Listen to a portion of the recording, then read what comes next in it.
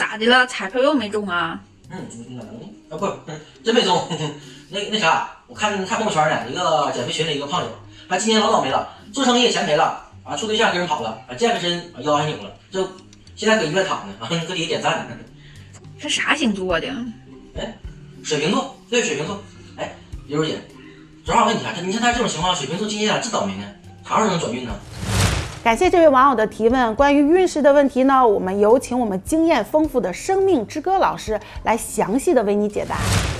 水瓶座在今年是老鼠年，太岁当头坐，无喜变生祸。水瓶座带了太岁之后啊，不是大吉就是什么多凶，所以一定要稳健。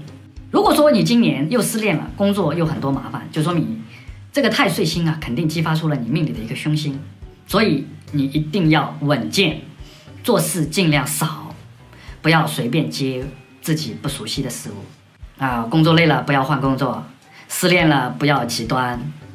如果说有对象接触，那就慢慢聊，时间长一点、久一点，循序渐进。一见钟情的马上上头啊！我告诉你，很容易又会伤心的。